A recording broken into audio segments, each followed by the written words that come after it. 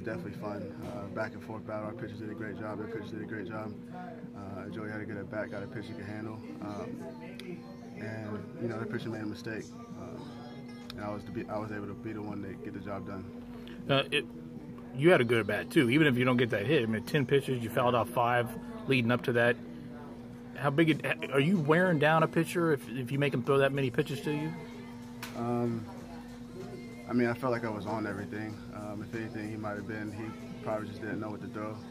Um, you know, he just probably thought that he could get lucky or something. I don't know.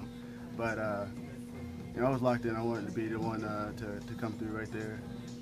I kept telling myself that there was gonna be a chance. Um, See you tomorrow. you know, and it just happened to be me, me up there. tonight. We heard you talk a lot.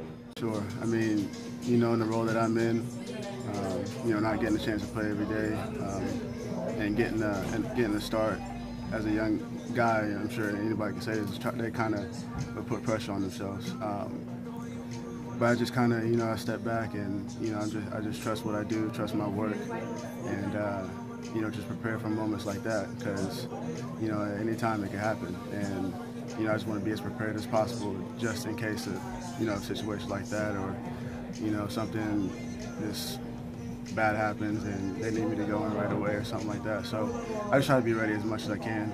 And, uh, yeah, just the hard work uh, paid off tonight. After